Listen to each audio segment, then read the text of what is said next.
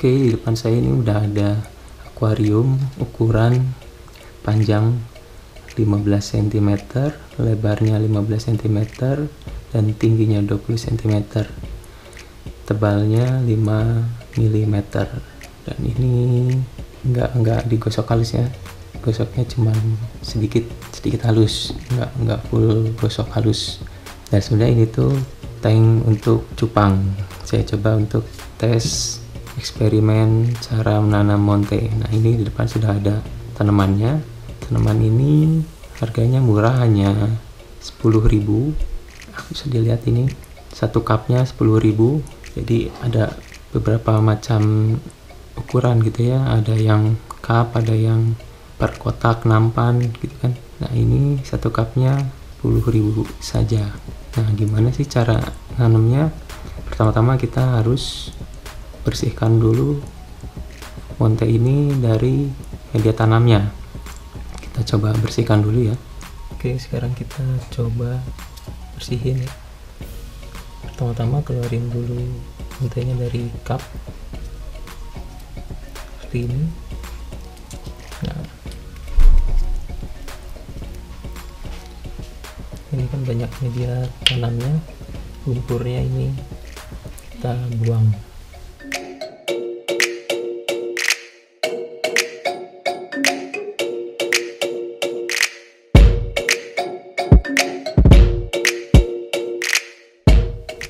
bisa dilihat ya udah bersih.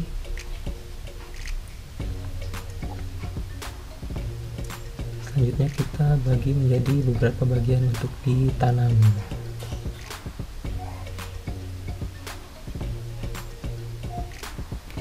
Oke ini tadi tanaman yang sudah dibersihkan dan sekarang kita bagi menjadi beberapa bagian supaya mudah menanamnya. Lebih kita ambil segini ya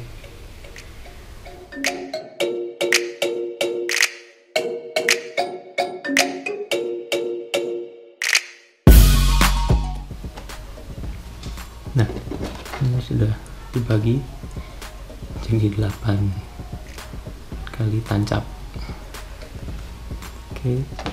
Selanjutnya kita masukkan substrat gitu ya. Nah bahan-bahan yang saya pakai ini ada pupuk dasar. Kemudian bakteri starter sudah campur dengan bakteri media. Selanjutnya ada ini pasir mutiara gitu ya, untuk bagian atasnya.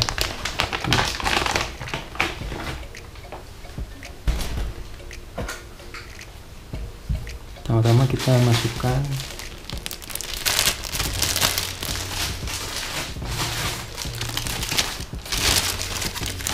tidak masukin ini ya bakteri starter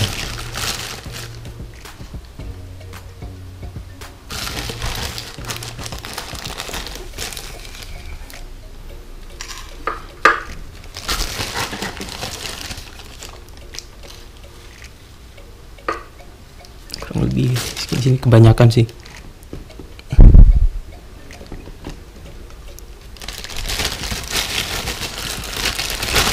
Terus terudah selanjutnya pupuk dasar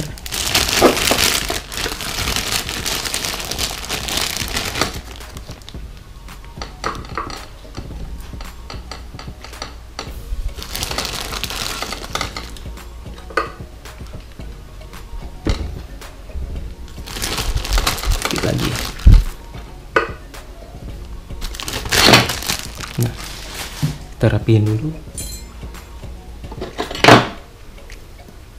Usahakan tidak terekspos ke, ke depan ya. Misalkan ada di bagian tengah. Biasanya kalau terekspos suka jadi kotor. Tampilan depannya oke ya sudah sekarang kita masukkan pasir mutiaranya.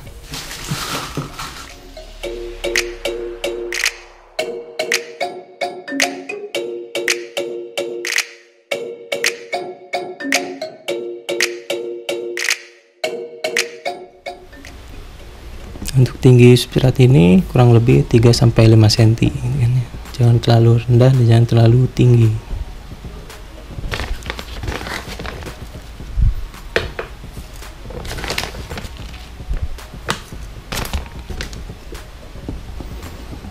Bagian depan rendah, bagian belakang saya bikin tinggi.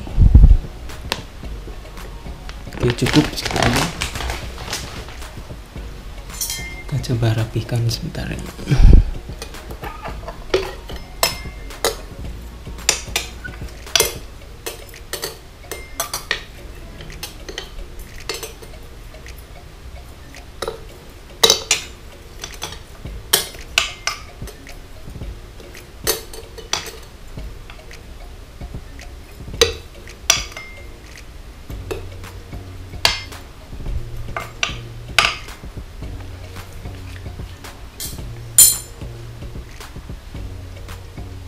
Untuk substratnya sudah masukkan sekarang. Kita coba tanam. Oke untuk mempermudah proses penanaman kita basahi dulu media tanamnya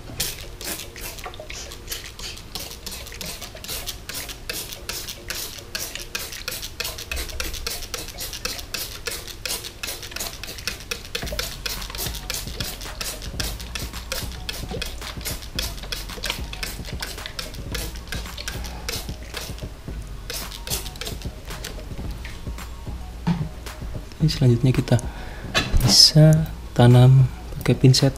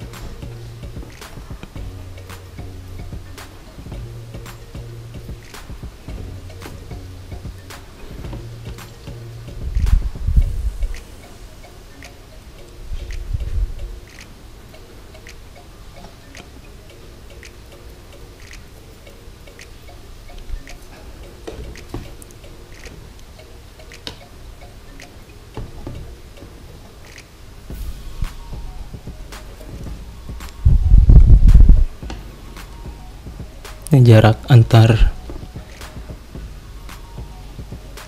penanaman ini bisa 3 sampai 5 cm gitu.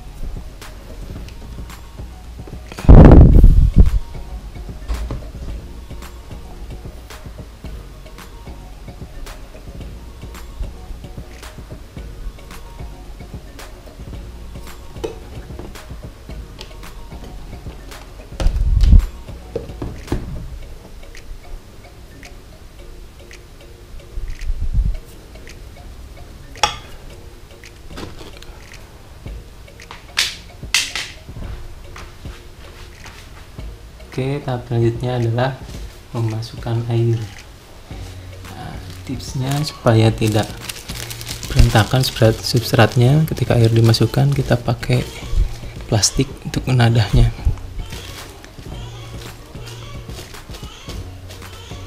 Oke, selanjutnya diisi air.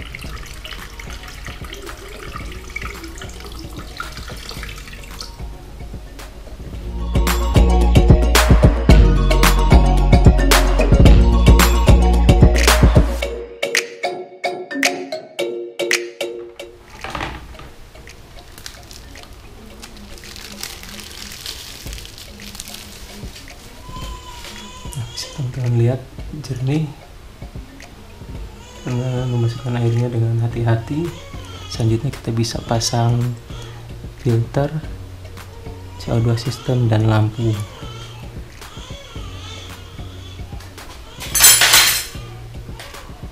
Biasanya suka ada tanaman kotor ada kotoran mengambang kita bisa saring gunakan saringan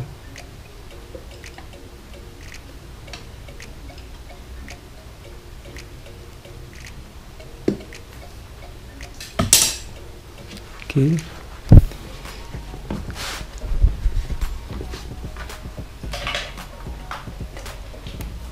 Sekarang kita coba pasang filter.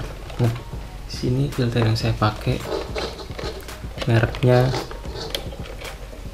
Risen AA501 dengan harus 280 liter per hour per jam.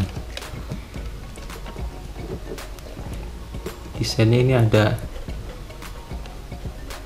skimmernya jadi bisa menyaring permukaan. Permukaannya kotor bisa tersaring di sini. Ini bisa menyesuaikan dengan permukaan air. Coba pasang